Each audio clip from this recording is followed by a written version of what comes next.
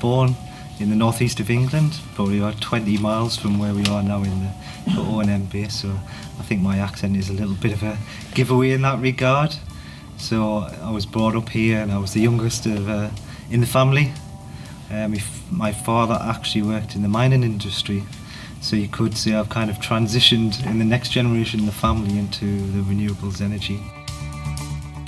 Spent probably the first five or six years in manufacturing, uh, taken on various project and operational roles there. Uh, before I then realised I seen the renewable energy industry starting to grow, especially onshore in the UK, and I thought I want to be a part of that.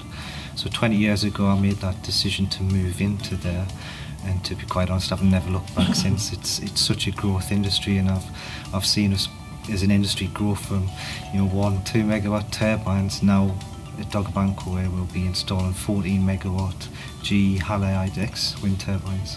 When I, I did my degree I'm, I'm more specialised in, in power engineering so it was a little bit of a passion of me and then I could just see the future and, and and as a growth industry and something exciting to be in. It was only going to go from strength to strength so I just thought for me that that's what I want to be involved in.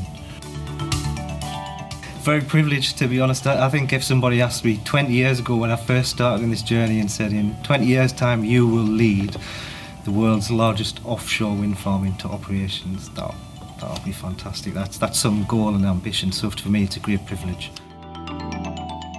So the wind farm will become operational in, uh, towards the end of summer this year.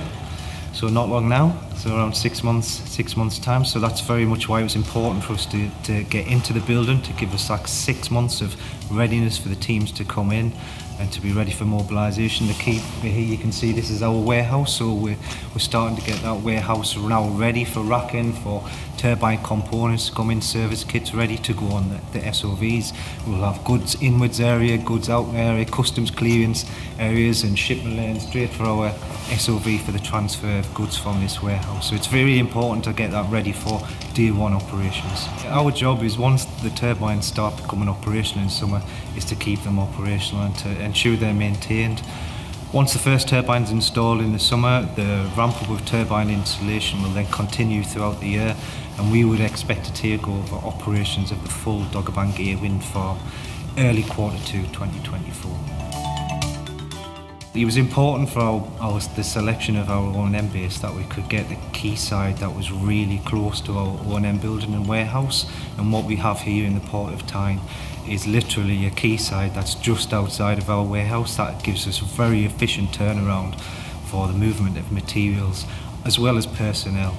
And it's not just space as well, it's about access for our vessels. So our vessels need uh, water depth and the Port of Tyne has traditionally had a lot of cruise ships in this area and so it, was absolutely an ideal place for bringing our service operation vessels in.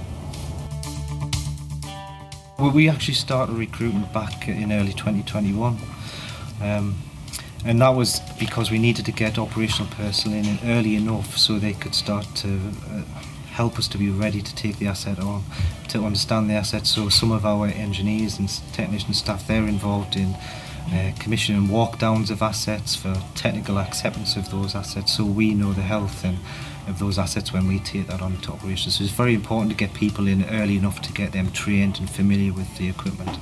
We've have roles for engineers, that could be wind turbine engineers, it could be transmission engineers, those with electrical backgrounds, process and mechanical backgrounds for, for transmission system cooling systems.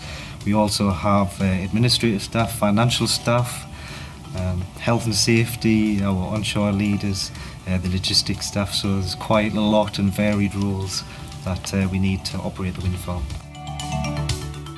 I think the the type of uh, temperament people we get, it, it very much depends on the role. For engineers, we want that logical, technical, analytic thinking. Control room operators, we want again people who are very logical and works there. But then we we need innovators as well, and we need people to to see different ways of work and that's why in terms of uh, our health safety people uh, we need different mindset there we need technicians are offshore personnel that are physically fit and able to to work offshore so they have to go through uh, GWO training to be able to work offshore so that's really important so we have a very mixture of roles from whether it's onshore and offshore and very much different mindsets but everyone working towards the same goal and that's uh, ensuring we continue to operate the world's largest offshore wind farm. It's a growth industry and it's, it's, it's an exciting industry and it's here for the long term. And that is one of the reasons why we're in the northeast of England not just because the port was the right location for us, but the skill set and the people, know, the heavy industry, the skill set of people in the northeast. It's it's a, a great area for transitioning those skills into offshore wind, and we've seen that. We've brought people in from manufacturing backgrounds, we've brought people in from the rail network, we've brought people in from chemical backgrounds to help. So, so we've got a very varied uh, skill set that we've transitioned into renewables it's, it's fantastic to, to, to have been born in the northeast and see something like this happening in the northeast. It, it gives me great pride.